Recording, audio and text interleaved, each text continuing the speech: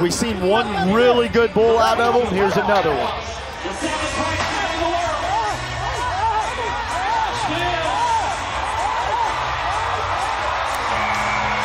Rafi's able to contain the explosion as he seemed ever so settled on time bomb.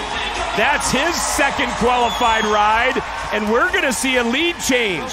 He only needs 85 and a half, and he gets 89 and a quarter. Yeah, he jumps all over that. And, you know, I was just going back to as that ride kept going, and you're like, oh man, he's got this thing locked down.